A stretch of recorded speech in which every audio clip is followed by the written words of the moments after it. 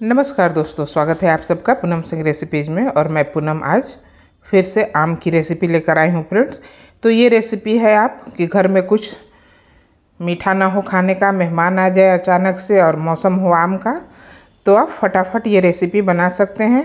Fasting के लिए भी ये रेसिपी बहुत ही एनर्जी वाली है फ्रेंड्स तो सावन का महीना भी आ रहा है तो उसमें भी आप ये सोमवारी में, शिवरात्रि में ये रेसिपी बनाकर खा सकते हैं। तो यहाँ हम चलिए बताते हैं पूरी रेसिपी की कैसे बनाए हैं। तो हम ले लेंगे आधा लीटर अमूल दूध, कोई भी दूध आप ले सकते हैं।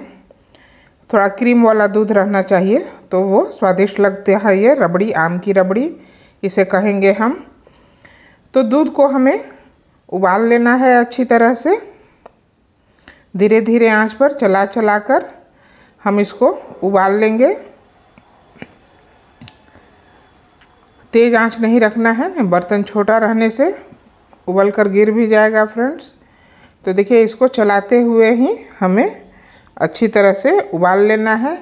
अब इसमें हम कुछ सेफ्रॉन डाल देंगे, कुछ धागे, केसर के। इसे स्वाद भी आता है अच्छा और कलर भी आता है। वैसे कलर तो आम पका हुआ हम डालेंगे तो कलर तो पता नहीं चलेगा, लेकिन टेस्ट बहुत अच्छा आता है। तो इधर हम बादाम ले लिए हैं, कुछ काजू और किशमिश, चार पाँच हरी इलायची, सबको हम इसमें डालेंगे। तो ड्राई फ्रूट्स को हम काट लेंगे अच्छी तरह से, किशमिश को नहीं काटेंगे, लेकिन काजू बादाम को हम बिल्कुल बारीक इसका स्लाइस कर देंगे। आप चाहें तो चॉपर में भी इसको काट सकते हैं। या हल्का ग्राइंड भी कर सकते हैं मिक्सर ग्राइंडर में। लेकिन हम यहाँ क्या किए हैं? चाकू से इसको बिल्कुल बारीक काट दिए हैं। तो जब ये मुँह में आता है मलाई के साथ तो बहुत ही स्वादिष्ट लगता है ड्राई फ्रूट्स फ्रेंड्स तो चलिए अब इसको हम डालते हैं। दूध में जो दूध बॉयल किए हैं तो देखिए केसर से कितना सुंदर कलर आया है दूध का।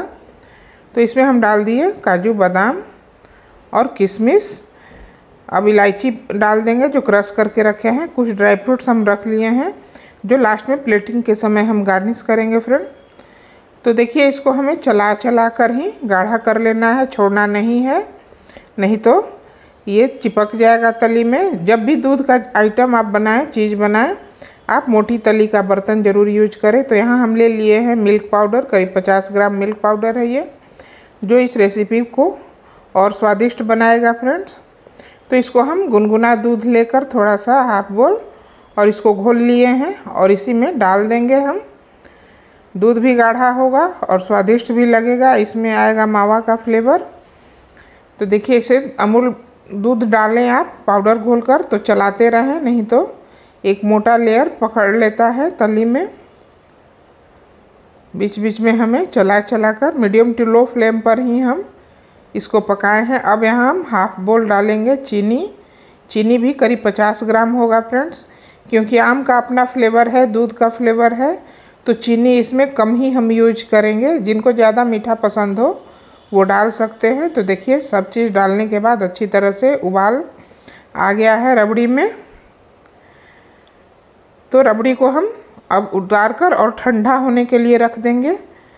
इसे गर्म यूज़ नहीं करना है, बिल्कुल ठंडा। जब ठंडा हो जाए तो आप इसे फ्रीज में रख दें।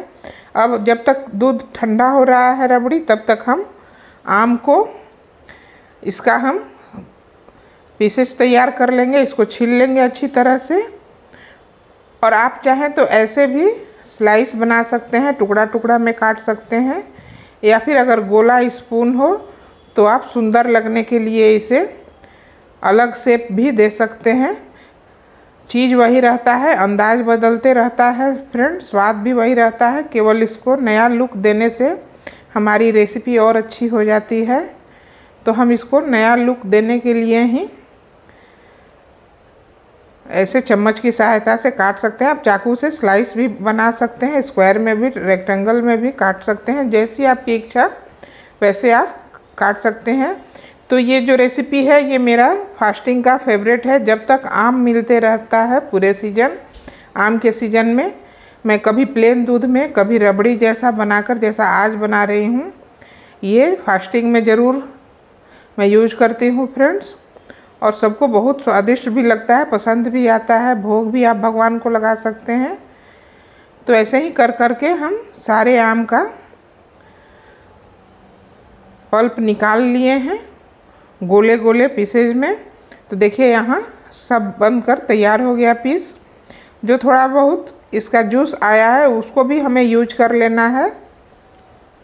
फेंकना नहीं है। इधर जो हमारा रबड़ी है, बिल्कुल ठंडा हो चुका है। अब हम इसको एक चौड़ी तली वाली सर्विंग प्लेट में इसे हम पलट लेंगे सर्विंग बोल में। तो देखिए ठंडा होकर थोड़ा सा लेयर पकड़ लिया है इसका, लेकिन वो जला नहीं है। स्वादिष्ट वैसे भी बच्चे खा जाते हैं उसको छुड़ाकर। तो अब हम क्या करेंगे कि अब इसमें जो आम का पीसेज हम काटे हुए हैं, निकाले हुए हैं, उसको हम डालकर और मिला देंगे रबड़ी में। और इसे आप फ्रीज में ठंडा करके खाइए तो और स्वादिष्ट लगता है, ऐसे भी आप खा सकते हैं। लेकिन एक से दो घंटा आप फ्रीज़र में भी रख सकते हैं। और फ्रीज में भी, फ्रीज़र में रखना हो तो आधा घंटा रखें और ऐसे फ्रीज में रखना है तो आप दो से ढाई घंटे तक इसको रखिए। ठंडा होने के बाद खाइए, बहुत ही स्वादिष्ट लगता है फ्रेंड्स। तो और कुछ आम के टुकड़ों से हम इसको और गार्निश कर देंगे। क्योंकि जितना भी आम डालिए, खाइए, स्वादिष्ट लगता है फ्रेंड्स। तो इस सोमवारी, इस सावन के सोमवारी आप लोग ज़रूर ये रेसिपी बनाइए, खाइए, भगवान को भोग लगाइए। और नई रेसिपी का लुफ्त उठाइए फ्रेंड्स आम और दूध तो सबको पसंद है। तो यहाँ हम आम की स्लाइस डाल दिए और अब कुछ ड्राई फ्रूट्स जो हम रखे हुए थे, उसको हम गार्निश कर देंगे उससे। तो बादाम, काजू और चेरी से हम इसको गार्निश कर देंगे। तो देखिए, देखने में कितना टेम्पटिंग लग रहा है, यम्मी देखने में ही। आप मेहमान आए तो भी आप झटपट बना सकते हैं, खीर और सेवई तो बराबर बनाकर खिलाते हैं मेहमान को। तो आम के सीज़न में ये रेसिपी भी आप झटपट बनाकर खिला सकते हैं। तो रेसिपी कैसी लगी ज़रूर हमें कमेंट करके बताइएगा। लाइक, शेयर, कमेंट तो बनता है फ्रेंड्स। Thanks for watching. फिर मिलेंगे। Bye bye